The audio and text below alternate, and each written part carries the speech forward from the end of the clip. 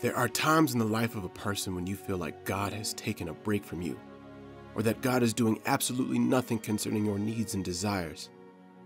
I must say, it is never an easy time in your life because your emotions get involved, and your mind also.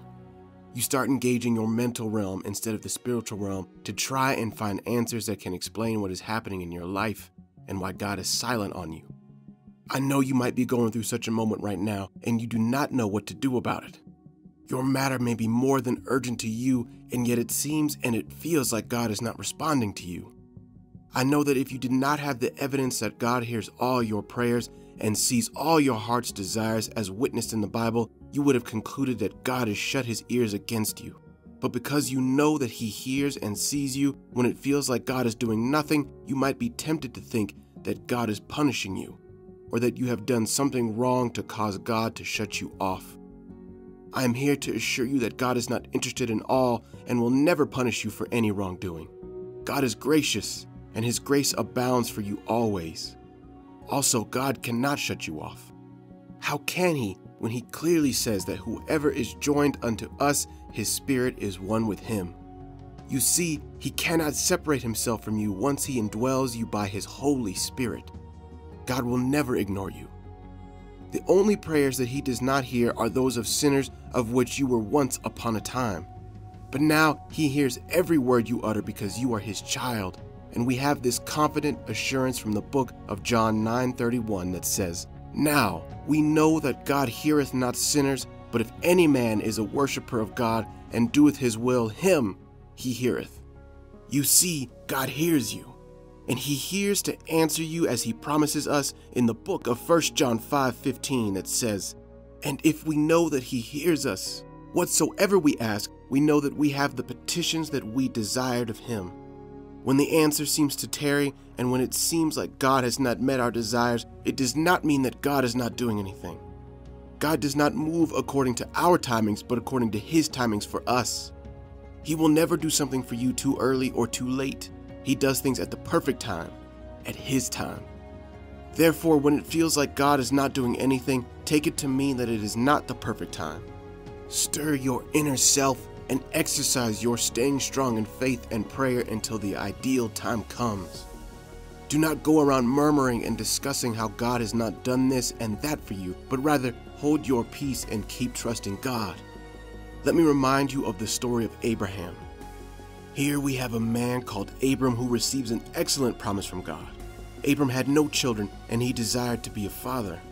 He was a man who was faithful to God and trusted in God so much so that it was credited to him as righteousness, and yet he went childless for so many decades.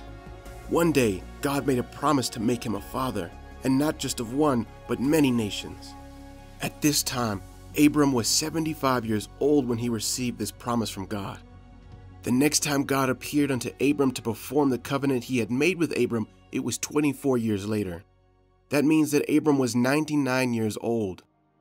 At this time, Abram, whose name was changed to Abraham, was old and the womb of his wife was dead. Even so, according to the time of life, they had a child when Abraham was 100 years old. Now, imagine what was going on in the mind of Abraham for those 24 years of waiting for a child. When you think about it, it was as if God was doing nothing. But guess what? God is not in the business of wasting our time. At the right time, Abraham got the promised son through his wife. Ishmael was not the promised son. He came about as a result of the impatience that was in Sarah and a lack of incorruptible trust in God. The lesson to learn from this story is that in those 24 years, God was developing Abraham and stretching his faith. He was investing in the character of Abram. That is why when God tested Abraham to offer Isaac as a burnt offering, Abraham did not hesitate. In his eyes, he fully trusted God to a point where he could not deny him Isaac. The chances are, if the promise was fulfilled at the wrong time, the story would have been very different from what we know. Here is a challenge for you. Can you exercise the kind of trust and patience that Abraham had concerning that thing you have been asking from God? It may seem like nothing is happening, it may seem like the more you pray, the more things are getting worse. Stay sturdy and full of faith. Learn the lessons that God is teaching you at that moment. Stretch your faith as much as God wants you to stretch it.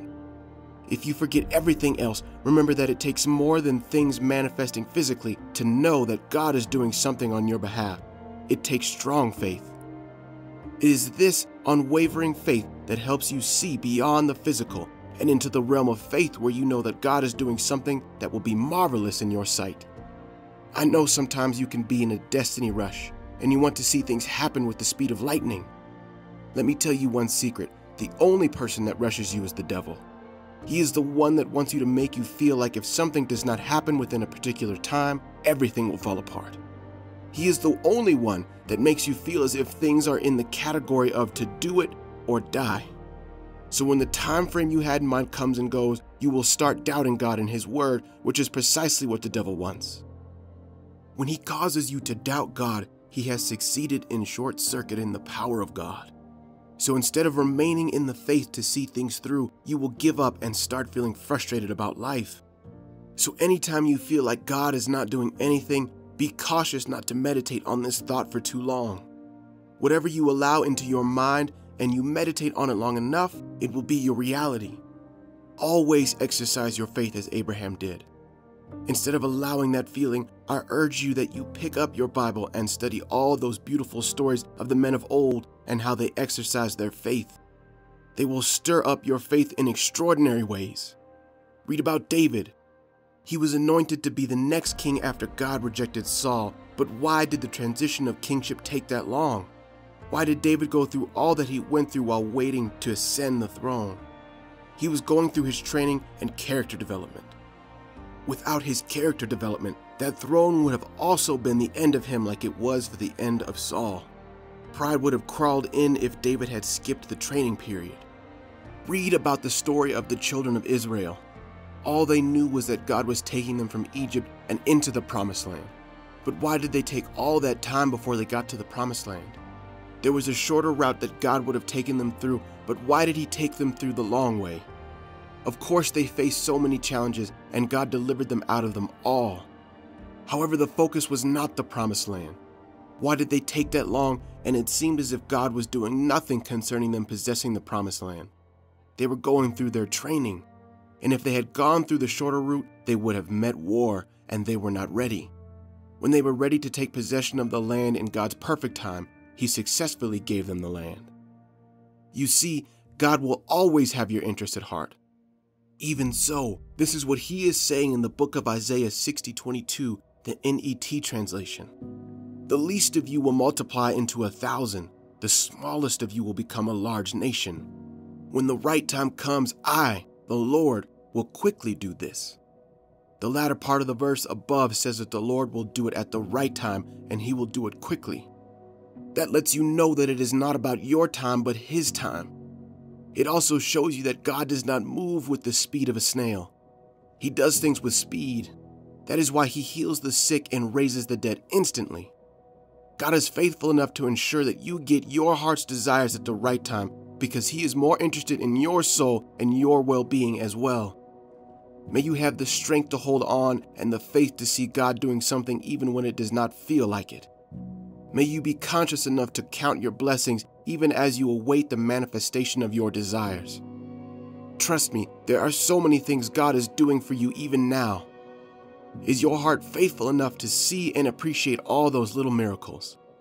Proverbs 10:6 says, "Blessings are upon the head of the just, but violence covers the mouth of the wicked." There are many blessings in your life. When something else is taking longer, focus on those that are happening now. These will give you the staying power. Do not let anything fool you and draw you back regardless of what it is, even time itself. God does not function within 24 hours like us. He is a timeless God, and so it never restricts him. When you finally see what God has been doing for you in the background, you will testify that it was at the perfect time. When it finally happens, it will come with more strength, faith, more conviction of God, a greater staying power, and a better understanding of the timing of God.